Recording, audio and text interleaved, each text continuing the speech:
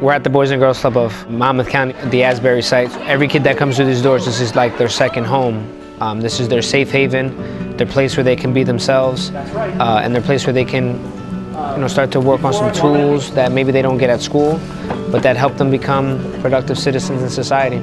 Here at the Boys and Girls Club, we have a lot of really cool programming, uh, but one of our newest programs is working with the Monmouth Arts, and that's really uh, changed internally what we do here.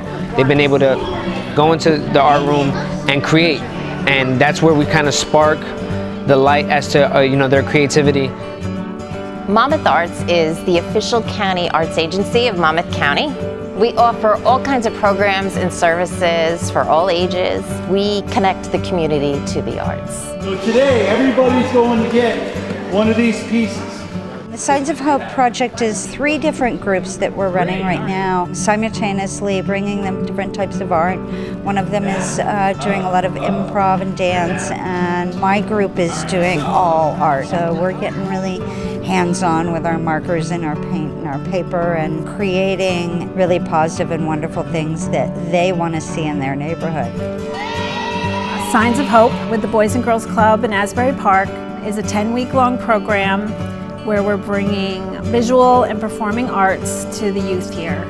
When we first came here, we were so impressed with the energy and the enthusiasm of the students. So we've really been able to see the students get some confidence and get a little creative, be expressive, try new things, but also take their time and slow down and, and have some conversations about what the art means to them. Art is a superpower. I like art. It's the best thing I do. It's good.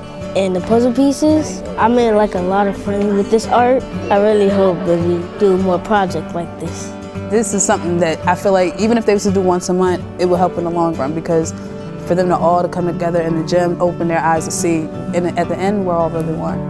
The kids really enjoyed the arts because a lot of people don't pay attention to it and it, it gets overlooked. And they're like, Miss Honey, are the Monmouth Arts people coming again? And you're like, yeah, they're coming. You ready? And they're like, yeah. So the fact that they're eager to do it shows that art still has a purpose for anybody, whether it's an adult and whether it's a kid.